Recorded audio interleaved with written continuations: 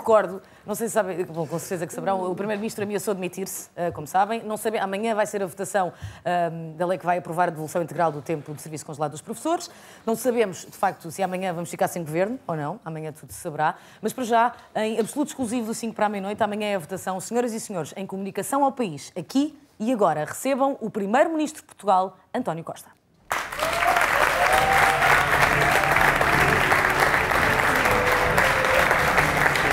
Primeiro-Ministro, muito obrigada. Senhor Primeiro-Ministro, uh, é uma comunicação ao país. Uh, Sr. Primeiro-Ministro já está preparado? Vamos ouvir. Portuguesas e portugueses, como tive a oportunidade uh, de, de dizer na minha última comunicação ao país, a devolução integral do tempo de serviço aos professores constituirá, constituirá, constituirá, constituirá um encargo que não estamos em condições uh, de assumir. Muito bem. Certo? É o suor. Não. No entanto, e por cá eleições à porta, estamos dispostos a fazer uma nova oferta aos professores. Devolvemos as horas que perderam a ouvir os comentários semanais de Luís Marques Mendes e as 1500 notícias sobre o novo bebê real que nasceu esta semana. Vamos devolver esse tempo. Obrigado. Aqui de baixo, junta-se aqui um só. Mantemos a proposta de devolver dois anos, nove meses e 45 minutos, mas em anos de cão. Ou seja, cada ano equivale em média a sete. Certo. Só estamos em condições de devolver o tempo total de serviço aos professores que sejam primos de Carlos César. E também ao professor Caramba, se ele fizer uma macumba para nos devolver o cabelo perdido nos últimos 10 anos. Certíssimo. Muito bem. Se ele continuar a soar. E ao líder da Prevent Prof, eh, Mário Nogueira, estamos dispostos a oferecer 100 anos de solidão.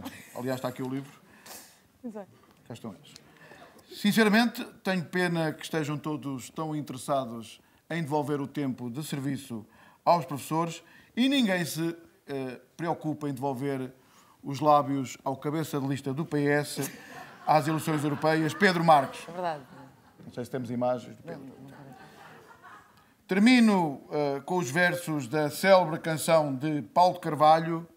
Nove anos, quatro meses e dois dias, é muito tempo, muitos dias, muitas horas a ensinar. Nove anos, quatro meses e dois dias, é muito tempo, deste tempo inteiro que eu posso pagar.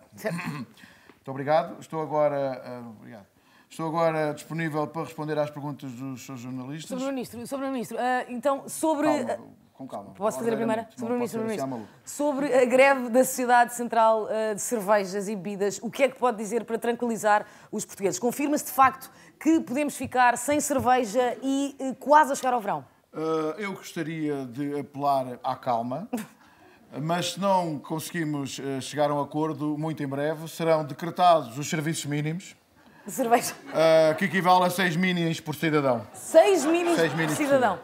Sr. Primeiro-Ministro, uh, mais uma pergunta. Na defesa do Benfica, Jardel ou Ruban Dias? Ruban Dias. Ruban Dias. Sr. Primeiro-Ministro, qual é o segredo de uma boa cataplana de peixe? Uh, o segredo está na massa. O segredo está na massa. Está na massa. O Dr. António Costa aceitava mostrar os peitorais na capa da Men's Health como o deputado Duarte Pacheco? Uh, só se fosse como o Cid, mas uh, com o orçamento a tapar aqui a zona da frente. Com o orçamento está. No lugar do, do disco. Sr. Ministro, o que é que vai acontecer no próximo episódio da Guerra dos Tronos? Acho que os dragões uh, vão abrir uma churrasqueira, mas perguntei ou não, ou então ao Marcos Mendes, que vai dar ao mesmo. e também sabe tudo, não é? Por agora é tudo. Muito boa noite a todos. O Primeiro-Ministro de Portugal, António Costa, senhoras e senhores. Muito obrigada, Sr. Ministro. De palmas muito grande, é um prazer enorme.